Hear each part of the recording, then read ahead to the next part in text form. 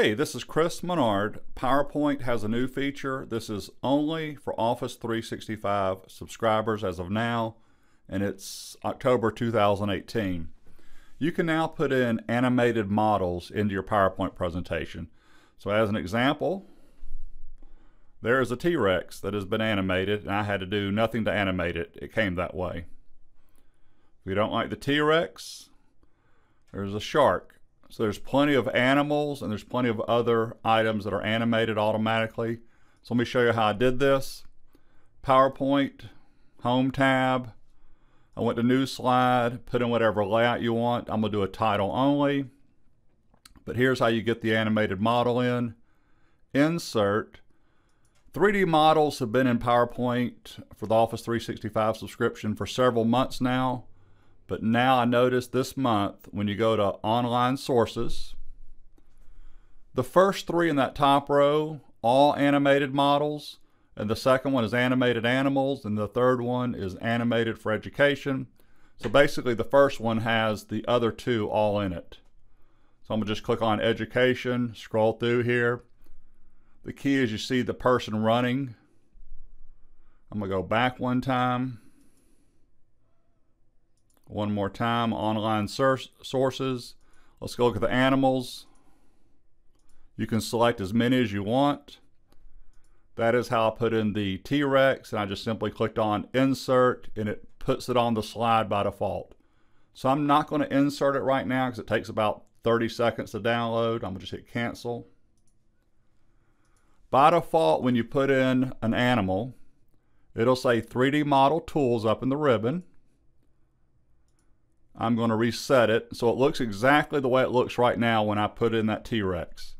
So I'm, I'm, I'm going to resize it just a tad. And just a couple cool features after I resize it. By default, the T-Rex is pointing towards me. That's the default view.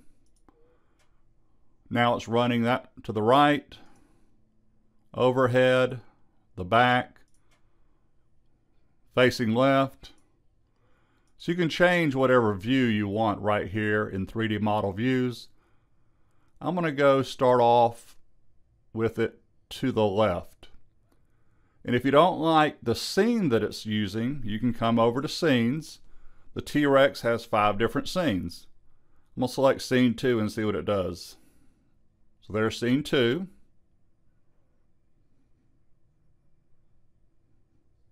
Let's go try scene three.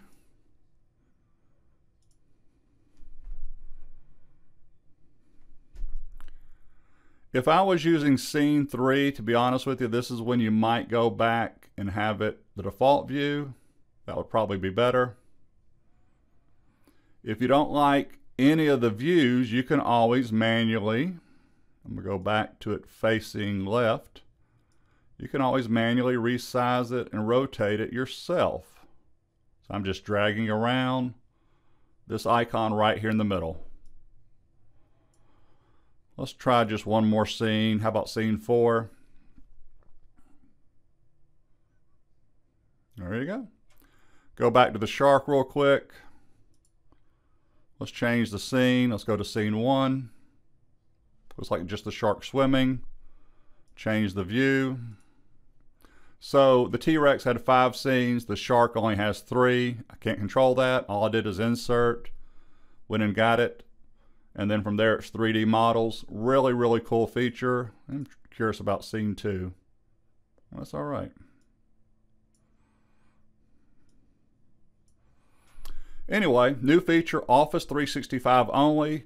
Also, um, I went to Word and tested it. They still have the 3D models in Word, but they're not animated.